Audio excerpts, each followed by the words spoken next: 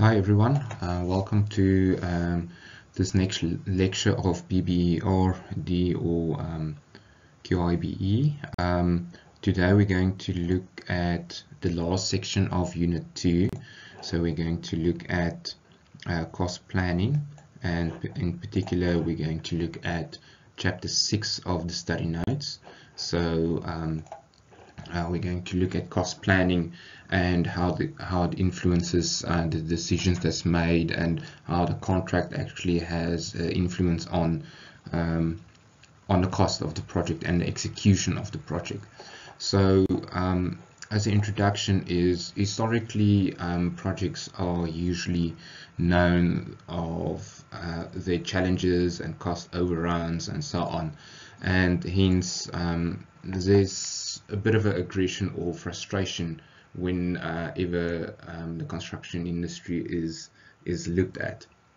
So the main objective is to do proper planning and to have proper and accurate information available.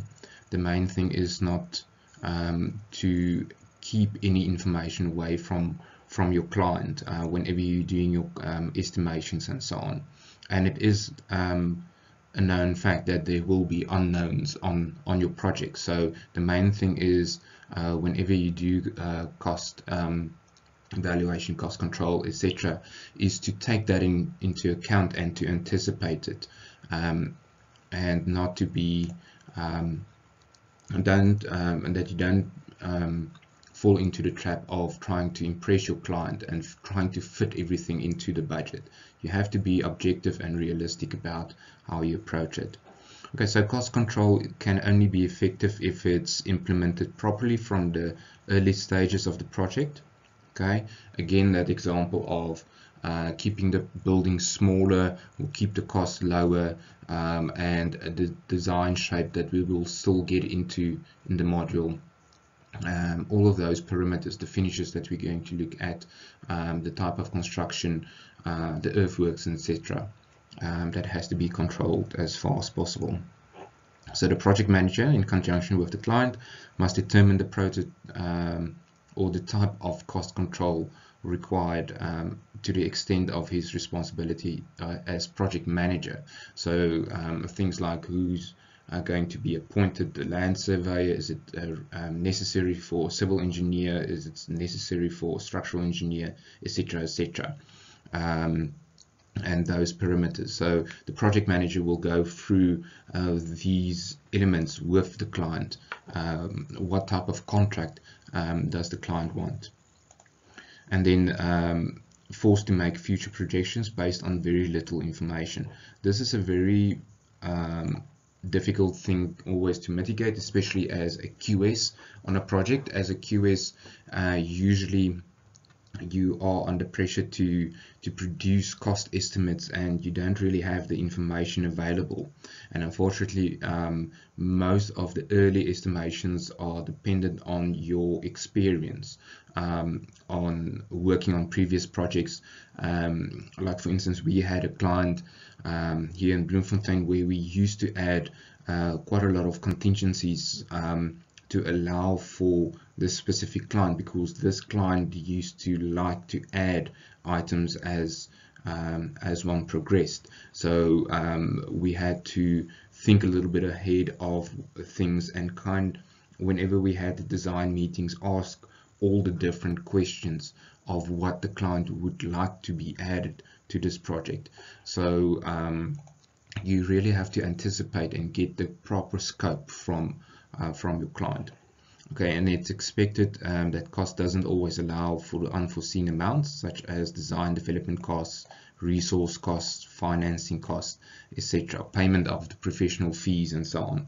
So um, many times especially in home builders where the clients usually aren't that educated on on the costs that uh, will be incurred on the project it is important to paint the entire picture for them because they will uh, they might have a budget in mind um, based on a rate per square meter and uh, that rate per square meter doesn't necessarily account for the submission to the municipality for uh, approval of the drawings, the appointment of the architect, the appointment of the structural engineer, etc., etc. So looking at budget, stipulation and control, um, budget, max amount of um, money the client is willing to spend to justify it financially. Okay, so that is basically what funds do the client, what does he have available? Uh, if you're working with um, home builders, it's usually the uh, loan amount that they can obtain. Uh, if you're working with um, uh, state organizations, um, usually there is a budget allocation each year in the financial year. This is the amount of budget that's available for this project and it has been allocated and it's ring fenced. Um, so that uh, funds is basically the budget that you can work with uh, on the project. It uh, also just take note um, with um, public enterprises usually the fees and the construction cost is usually two separate budgets. So just make sure uh, when uh, when you do get involved with it that you understand how the budget allocation actually works.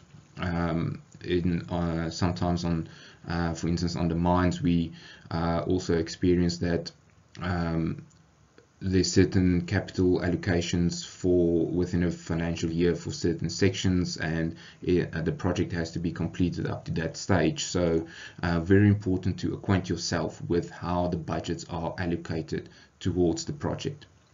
And there might be operation maintenance um, budgets that that one can use for furniture uh, and fittings to the building later on and so on. So it's it's um, uh, which might not necessarily form part of the construction cost. So just acquaint yourself with how um, that budget allocations works and exactly what can be used uh, uh, of those budgets on a specific area of, of the project. Okay, so it's um, you have to prepare projections for budgets um, and it's very difficult uh, for the project manager usually to do that. Um, for instance, if you get into the construction bit, that's where the uh, quantity surveyor usually advises the project manager on how the um, certain cost elements fits together. But the project manager um, has the obligation to look at the um, whole picture um, whenever looking at budget allocations. Okay, and then the preparation and projections is uh, important to all the parties and it influences all aspects of the development. Every phase needs to be in budget for the next phase to continue. So the main thing is once you've done with um, stage one and two, um, you have to make sure that there's uh, um, enough budget available before the rest of the design continues um, so that it is fixed at that stage before it continues. Then um, project budget starts with stipulating the client's needs and all the direct um, uh, that are directly related to the extent of the project and that's what I've already spoken about um, earlier on and then the project manager plays an important role in early stages of development getting the scope um, available uh, and he kind of acts like a mediator in testing, scrutinizing, and identifying the variables that relate to the project. Getting the scope is key in this aspect. Okay, so continuing with the budget control, the budget uh, represents the contract tender amount divided between the number of different uh, work groups. So um, the work groups that I've spoken about is basically just the different sections of the project who um, and then the work groups is um, explained further. So the contractor should be should have a budget uh, works program for the project. So for the different sections of the project um, he should have different um, budgets allocated to it Okay, so the client budget represents the time schedule of payments and the availability of funds. So um, as mentioned earlier, clients might have financial years that they have to do a certain amount of spending. So a cash flow is very important uh, for, for this. So uh, we'll have a look at um, just the entry level of, of budgets uh, and cash flow that we're going to look at. So I've just inserted a short break here as well so uh, you can have a look at the YouTube video uh, online as well it's again the B1M channel uh, that I copied in here and it's just a short little video on the BIM and 5D um, um, BIM. So uh, quite an interesting introduction just to 5D BIM. It might explain how um, things are uh, done whenever working on a model in a BIM environment within a BIM environment. So uh, please have a look at it. It's um, it's not part of the module, but it uh, will give you some background of how everything fits into each other and what BIM is and um, what we're working towards and uh, how things are developing in in the industry.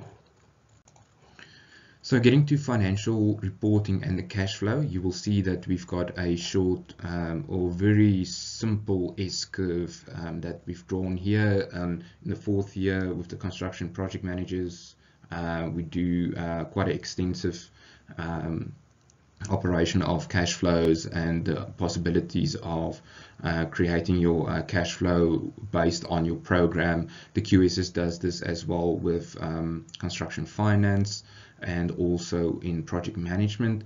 It's done and dealt with uh, quite extensively.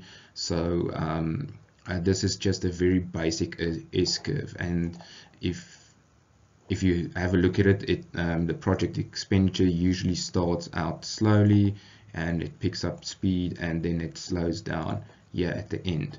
This is how it usually works on, on site. So it depends um, if a contractor is efficient in his implementation. Usually this is how the cash flow, uh, cash flow would look.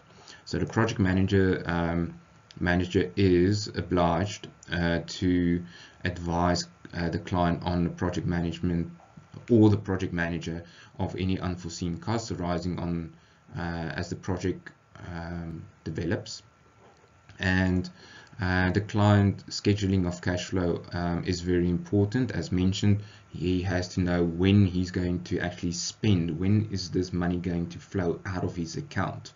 Um, very important he has to make sure that he has the available funds to actually pay the contractor when needed. So in short um, cash flow is basically just your cost of the project connected with your uh, time.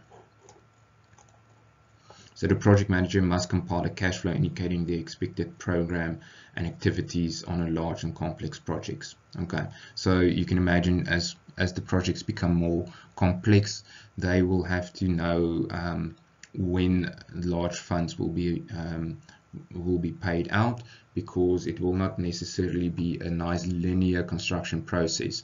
There might be different sections of the project that will start at different times of, of the project life cycle and uh, thus the cash flow is very important for that.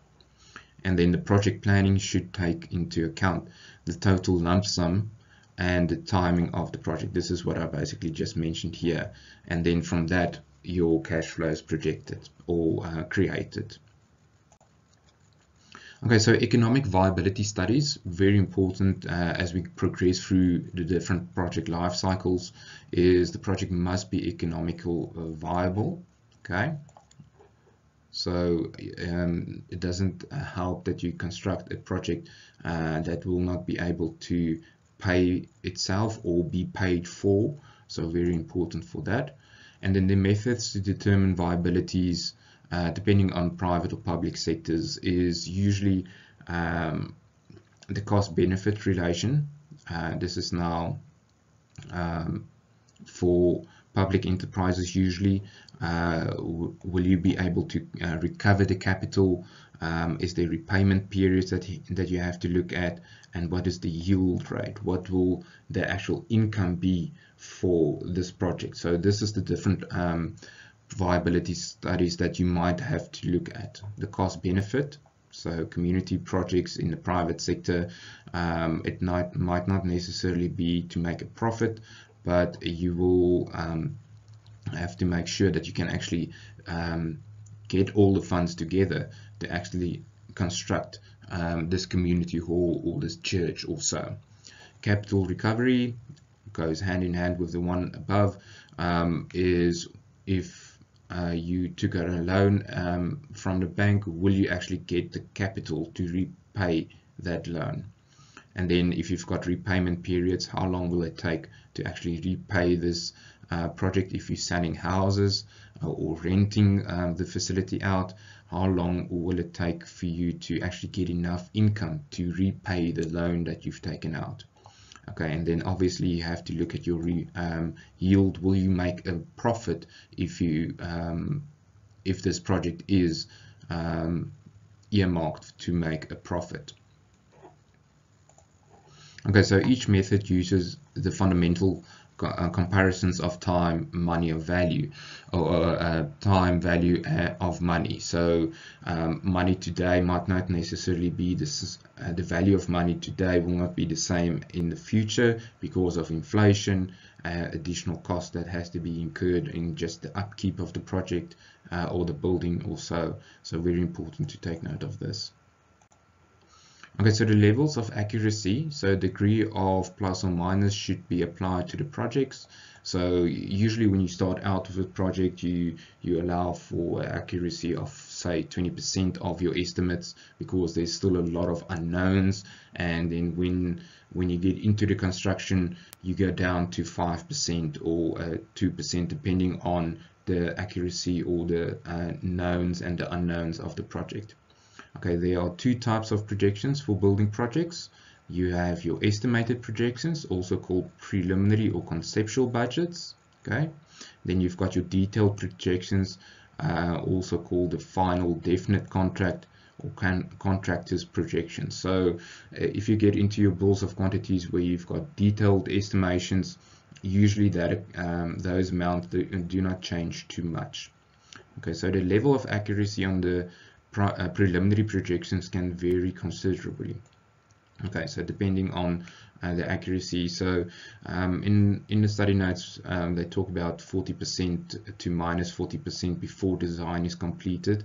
This is quite high. Usually in industry, we're trying to stick to not 20% sometimes the client can actually stipulate to you you have to be accurate to this um, this degree. So it just means that you have to spend more time in finding out exactly what um, all the parameters might be uh, and allowing some additional um, contingencies in your estimations and then after the design is done it might go down uh, from 25 to minus 10% of the estimation. And then when you get into your detailed measurements it will go down to 10 to 5% okay. Um, it is very important to try and be as accurate as possible no matter what stage of the development. Um, it's always um, very important to um, also justify and be very methodical when you do do your estimations um, to uh, make sure that you've got all of the information uh, available when you do your estimation. Okay, the types of contracts and on, on buildings, and this does have an influence on the cost of the project. So the system of obtaining contracts are critical for the success of your project. Okay, so um, uh, the most important aspects uh, for the clients are usually uh, quality, value, cost, time, and then the assurance that it will be that this project will actually get done. Uh, there will be enough funds to actually construct this building, uh, etc. So um, it's critical to um, to know what type of contract you're going to go into, um, and we'll elaborate on that a little bit more just now then the project manager should have a good idea of what type of contract will be uh, suitable for each type of contract. So um, it really depends on on the client. If he if the client wants to go out on in construction as soon as possible, then uh, uh, diff a, a, different uh, contract might be applicable. Um, a design and build might be uh, more conducive to a project like this instead of a design being completed first and then going out on tender. Okay, the shorter time between the inception and the completion, the greater need for less for a less rigid approach. So um, if there's not a, um, a lot of time um, for the client to get the project done. Usually he will pay a higher premium and but you will go out on tender much quicker. So if the client wants to go out on um, build a house uh, quicker. He will um, approach a contractor or um, approach a construction project manager, uh, and he might enter into a, a um, contract uh, managing contract uh, with that party, uh, who will then um, provide a um, estimate or a cost, a quote based on that, and then allowing for the design and the um, all of the other uh, items that still needs to take place before the actual construction can start. So um, yes, the, the less rigid it becomes, the quicker the client wants to get the project um, um, going. Okay, and then there's a wide variety of methods available uh, and um, you have to advise the client on which route is the best route to take. Okay, so the type of contracts and obtaining your contracts. So any amendments should be discussed with a legal advisor or expert uh, to ensure the amendments that have been made in the contract actually cause the desired change and not create le legal loophole. So it's very important to, to make sure of the contract that you choose. Um, usually the QSs are in a good position to give advice, um, but when it comes to the actual clauses and so on, I, one would actually like to try and stick as close as possible to the standard contracts and uh, if there's a, a bespoke uh, contract which is usually contracts that's drawn up or consider considerably uh, usually a specialist legal advisor uh, would be obtained for that Okay, and it's important to select a method of obtaining your contract because it ensures the success of the contract. How are you going to go out on tender? Or are you going to ask for quotes? Are you going to get the design completed and then this contract might be more useful on, on this project? So all types of contracts have advantages and disadvantages, which the project manager must be fully aware of. Okay. The experience of the project team uh, with different types of contracts can be a great value and should be utilized fully. So usually uh, we've got um, four standard contracts in South Africa. Um, the engineers likes to use the FIDIC contract, for instance, or the GCC contract, whereas in the building environment, the architects and the QSs are usually more um, familiar with the JBCC contract um, and now with the NEC contract also um, many engineers especially on Eskom projects um, like to use the NEC contract and although um, the experience levels uh, in the industry in South Africa the NEC hasn't been used that often but it really depends on um, it, it boils down to um, the experience on on the contracts of the parties. Okay, two types of contracts. Usually, um, we have two types of contracts. So you've got price in advance. So this is usually the ones that that we uh, promulgate, and it's um, the contracts with quantities, provisional and basic quantities. You've got lump sum contracts uh, with schedules of rates usually, um, and then you've got your scheduled rates negotiated contracts, and then you've got comprehensive um, measurements. This is um, non-remeasurable BOQs where the design and everything is available before you go out on tender and um, you've got extensive quantities measured. And then you've got your turnkey contracts where um, a contractor or a, um, a substantial amount of the design still needs to take place and um, then the contracting party still um, is still responsible for a large section of the design of the project.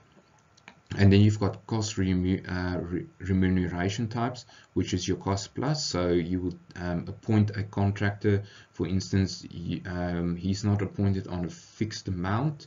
Uh, there's no cap on the um, amount provided, but it is arranged that this, uh, this contractor might have a certain markup on the material and the installation cost and um, so there's a cost um, that's paid and then the contractor might ask a percentage maybe a handling fee um, operation costs etc on top of that. So the final cost is not known um, at the beginning of the project. And then the managing contract is usually um, someone is uh, appointed and then it um, the agreement is that um, the appointed manager or contract manager um, keeps the cost as low as possible. Okay, so generally accepted, uh, it is accepted that open tenders give the lowest prices, while negotiated tenders usually has about 5% additional cost added to it, uh, to the cost. So conditions that will benefit the client or require higher standards of craftsmanship will necessarily increase the cost. Okay, so um, there are always uh, risks involved uh, for all the parties. So um, the next slide, when we look at the, the um, time uh, ratio, um, it will kind of explain on, um, on the risks that can be identified earlier on uh, or later on, depending on the contract that you uh, uh, enter into. So the risk um, risks has to be managed and minimized, minimized. Then the type of contract selected usually determines who will bear the most most risk um, and it, um, the illustration will show that. Then the method selected must meet the client's needs, okay, um, as optimally as possible. And because of the client, depend on the expert advice with regard to this matter. So you will have to advise the client and then the client might be uh, well endowed and uh, will not mind taking high risk. They just want the project done as quickly as possible.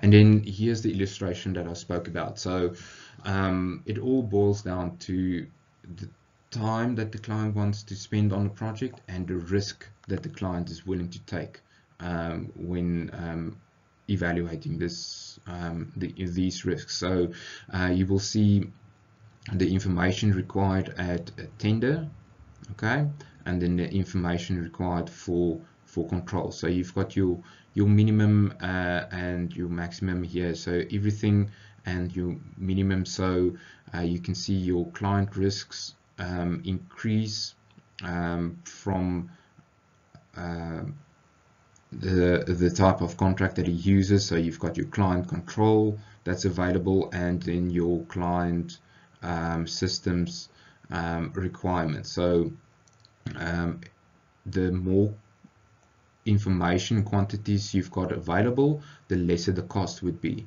And then um, with your lump sum contracts, everything is included. The client knows what's um, uh, what he's going to get. And as you move down with changes, so if you've got a, a contract with bills of quantities, it will um, and it might change. So thus the risk for the client will also increase.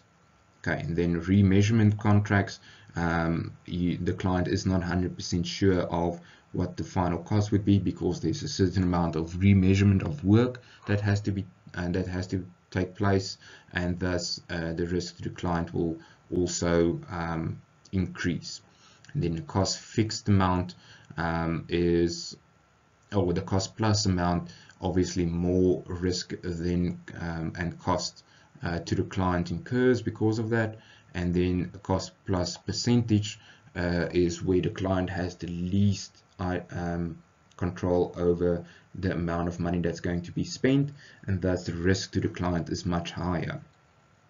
And then uh, control systems required. So as uh, you um, progress on um, the less information during the design so if you go down to this side um, you will see that the um, emphasis on control increases as well. So a very nice uh, illustration on how the risk to the client actually increases as um, as the information becomes less. And obviously this is now dependent on the amount of time. So the more time that the client um, needs to actually get the design done, um, the lesser the risk and the um, quicker the uh, client wants to get into construction, the higher the risk. Okay. So in conclusion, the client's budgets represents the timescale of uh, payments and availability of funds uh, to honor the contract certificates. Okay, therefore the projected cash flow and uh, pre-contract design are very important and then the importance of documentation and coordination of project information must be uh, must not be underestimated uh, and its time effectiveness. Uh, management um, are essential uh, for the success of the project. Okay, so the management of the project is essential uh, for that, and uh, thus, as experience, as you obtain experience, uh, you will be able to anticipate and ask the right questions uh, whenever you start out with your projects. project, as I mentioned in the first lecture, is um, it's all about getting the, the scope from the client, uh, which is very important. Okay, everyone, thank you. That is basically um, this lecture for today. Um, yeah, please make sure that you go through this and that you keep up to date uh, with your um, with the work, that uh, you do not um, struggle in um, whenever you do get to a test or informal that you are up to date uh, and you can actually apply the information that we've gone through so far. Thanks. And also remember that you are welcome to contact me, send me email or um, uh, give me a ring if, uh, if needed, but please communicate if there is any questions. Thank you everyone.